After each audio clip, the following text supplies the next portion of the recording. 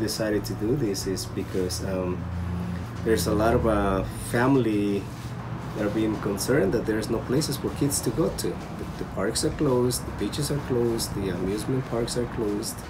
So they want their kids to, to learn something new, to, to do something different. And that's the reason why we decided to host an event like this. This is built out of one piece. And there's one tree in Mexico, they call it copal. I guess it's an incense tree, that's where they get the incense from. And it's she's, she's she was telling me that this is very soft, this uh, this particular uh, uh, tree log, it's very easy to to to um, what would you call it? To carve.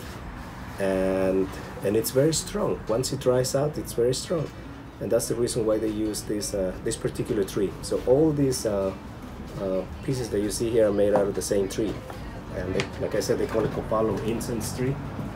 So this here it's made out of a pretty much one piece except for the tail because they attach the uh, tail to it.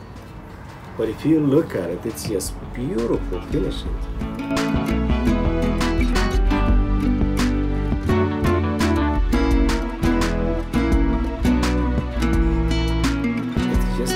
amazing uh, piece of art. And of course we are uh, complying with the uh, CDC so the class is only going to be 10 people or max 12 you saw me cleaning outside so it's going to be an open space so they're going to have their six feet uh, of distance just to comply with the uh, with the health department.